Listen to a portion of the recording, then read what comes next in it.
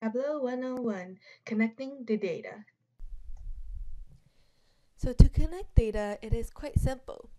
All you have to do is uh, open a new Tableau workbook and then on the left hand side there is a connect panel. Under the connect panel there are different types of files such as Excel, text file, accesses, as well as there's SQL Server and other databases that you can connect to. So in this um, demo, I'm going to be connecting to an Excel file. So I'll be selecting Excel and then going to my Excel file.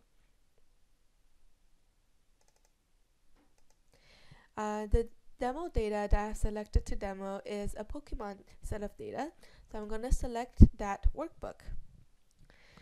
So once you select the workbook, Tableau will show you, you know, the connection is to the Pokemon workbook, but within this workbook, there are four different sheets.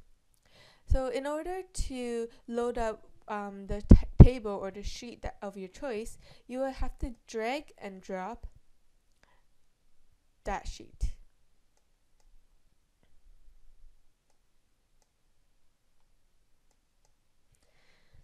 After you drag and drop the sheet, you'll see the, the fields and the data and, and in the table loaded up at the bottom. So this is a great way for you to do a quick check of the data types that Tableau had automatically recognized. For example, it has recognized Pokemon number as a number, uh, as a sorry, as a text, and as well as you know, the totals and the HPs as numbers. So this, if this is incorrect, you can click onto the icon here and then reselect the, a different type of data type. Uh, one of the most common um, uses that I have um, used for this um, data type change was if I'm loading percentages and they're usually 0 point something, if it comes in as a number whole, then they will all show up as either number ones or number zero.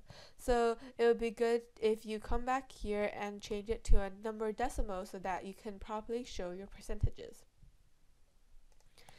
So next, uh, you'll see here at the top right hand side um, the connection area. So there are two ways you can connect to a dataset. First is live. So live means that whatever changes you make in your Excel file, it will update live um, in your Tableau file as well.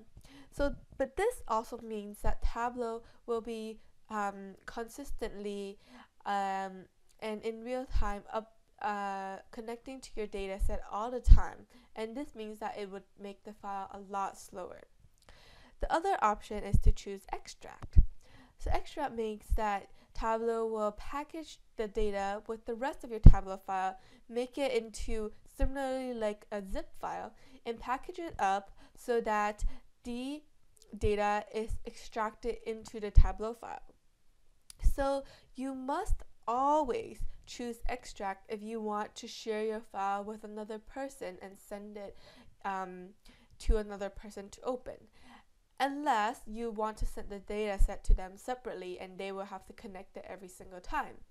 So, usually, my best practice would um, be that I suggest that you always use extract because in that case, um, you will always be able to send your data to another person and they will always be able to open it.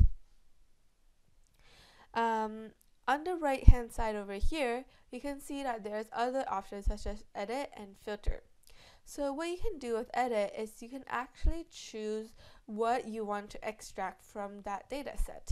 So for example, if I decided that um, a certain Pokemon I was not interested in, then I can choose the name as the field that I want to filter by, select all, but I decided that, you know what, um, I don't want to import um, um, Bonsly, for example. So I will select everything except for Bonsly and then select OK and then OK.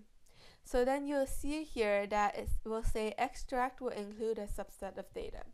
and this is extremely useful if you don't want to take the time to you know manipulate the data outside for example in excel. You can simply just exclude um, certain uh, data from the original data set. And this will make the package a lot smaller and will make tableau um, function a lot faster uh, on the right hand side here you'll see another filter option so filter works very similarly to the edit function over here, but when would you use filter versus um, the edit function here? Um, one reason I, I would use filter is if I have an extremely large data set. And um, when you have really, really large data sets, it is Tableau can react really slowly to every single click that you make. So you don't really want to be sitting there for 15 minutes for every click that you make and every change that you make. So what you can do is you would still extract the full set of data, but then you would come here and apply a filter. And this works very similarly to the extract function. So you would add a filter, um, go to the name again, for example, click OK, select um, the for example, I only want to see um, Abra. And I will select this Pokemon to do my testing and kind of develop my prototype in terms of the worksheets and the data and the visualization just on this Pokemon. And I click OK. And that will be applied as a filter. But a filter can be easily, you know, um, reversed and removed so that when you're done with um, building your graphs, then you can come back to filter and then remove your filter, and then you immediately have everything already extracted and ready to go. So once you're ready with your data, then you can go ahead and click Go to Worksheet, and then Tableau will ask prompt you for an area to um, store your TDE, which is the extract file. So really, you can store it anywhere you like, and then you can press Save. So once you press save, Tableau will go to the worksheet, um, the first worksheet, and then it will start creating an extract. So usually this takes a little while depending on how long your and how many rows you have in your data, but uh, usually it won't take too long. And then once you have this screen over here with your dimensions and your measures over here, which is our which are the different columns, then you know you have successfully uh, loaded the data. So the other part that I wanted to show you was if you wanted to um, join several sets of data together and blend it. So for example, right over here, we have Pokemon. But what if we wanted to add, you know, the different moves to the Pokemon? So what you can do is you can um, select another wor worksheet and drag it here. And then you can see here that right now it is joining by inner. So inner means that any um, where that intersects, it will join it. If it's left, that means it will keep everything in Pokemon but only join the ones that are matched and moves. If it's right join, then it will keep everything that's in moves but only join those that match in Pokemon. And then if it's fully full outer, that means it will join everything in both um, worksheets. So in this um, situation, you know, I'm only interested in Pokemon and um, but I'm also very interested in what moves they make. And because, you know, one Pokemon can have uh, several moves, I'm going to do a full outer.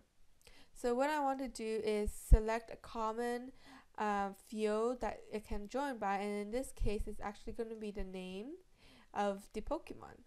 So I select a name in both and then I clicked um, and then I have uh, and then it will join it based on the different moves. Then again, similarly, I will go back to my worksheet and then this time you'll see that uh, you get the joined um, data and the one that was blended together.